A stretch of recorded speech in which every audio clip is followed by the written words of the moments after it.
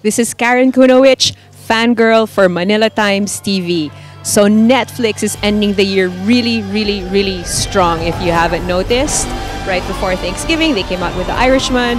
Um, December 6th, they came out with Marriage Story. They are coming out with Two Popes. And then series-wise, there's also Ryan Reynolds' Six Underground and a show that Hank Sparrow is going to tell us all about. All right, dropping December 20 on Netflix, it's The Witcher.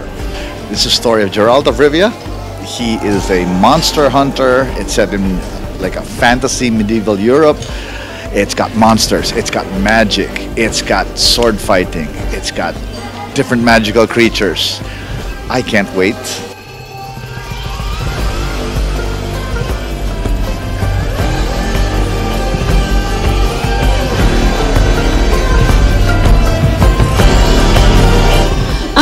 No. So what's important to me is to make sure that the stories that we're telling about women are as dimensional and, interest- and interesting as the ones we're telling about men. It's not about women being more important. It's not about men being more important. It's about making sure that all of these characters are fully fleshed out. Um, and for me, you know, I like to describe the story of The Witcher as a broken family coming together, um, which in this family, there's three members. There's Geralt, there's Yennefer, and Ciri. And if we want to make that, that collision course of them coming together the most interesting, then they all have to be interesting characters. So Geralt, I think, in the short stories that we're pulling from, he's an incredibly fleshed out character. Um, spent a lot of time sort of so that we understand Geralt's soul and his damage, where he's coming from, where he wants to go, his dreams, all of that. Um, and I just wanted to make sure that we understood the same about Ciri and Yennefer. And I think what happens, well, when you get to the episodes where you see these characters start to meet, you see that making sure that we love these characters for who they are will make their uh, their interactions all the spicier.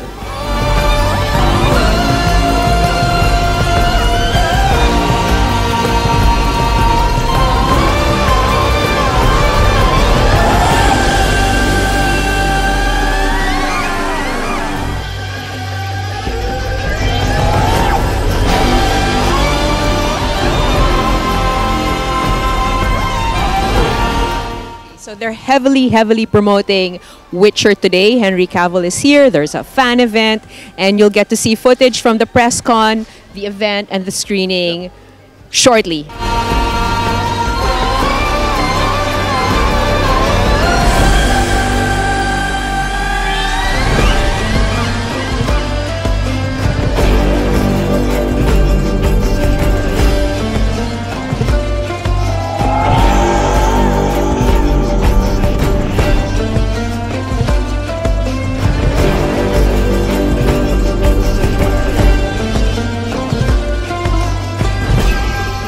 So, what about the characters that you like? I mean, obviously, you like them enough to get dressed up like them, so Uh, for me, I really identify a lot with Ciri just because I can tell that she's kind of like the small, feisty kind of character, which I tend to kind of latch on to. So I'm excited to see that. Excited to see if she's in the show gonna end up also kind of a witcheress like in other media. But other than that, pretty much just the overall personality seems like something that I vibe with. So, do you want to invite everybody to watch uh, the new the new series dropping on Netflix? Yeah. You have to see The Witcher on Netflix coming this December 20. My goodness, it will blow you away. We ha- we will see a very new Henry Cavill right here. Ladies?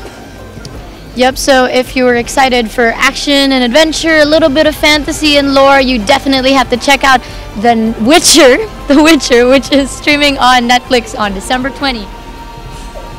Right. Thanks so much, guys. Good one.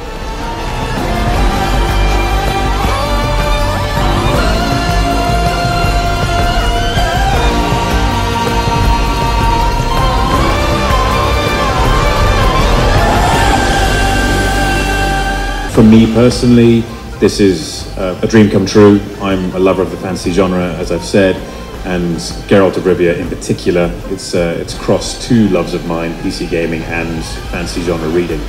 And uh, to have this so close to being released is an incredibly exciting time for me, and I think I can speak for Lauren say the same. And uh, we just can't wait for you guys to watch it all. Cirilla, you are the Lion Cub of Cintra. Why do you think she's not safe? I saw an army, a sea of black and gold.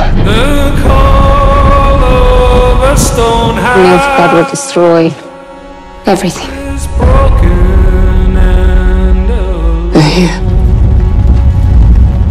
This is why they came.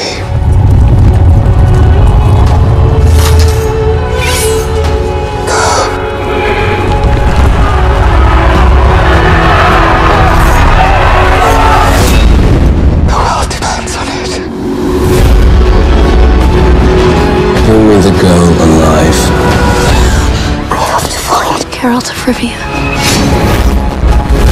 We can stop Nilfgaard. I will personally defeat them. Join us. Why would I protect this? I want to be powerful. I will take the girl,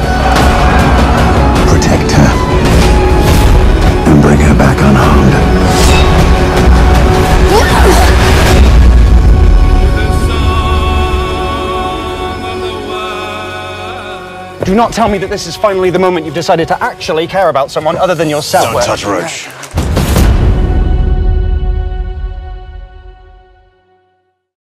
This is Karen Kunowich, fangirl for Manila Times, at the very noisy Witcher fan event. And this is Hank Sparrow reminding you all December 20, dropping on Netflix The Witcher.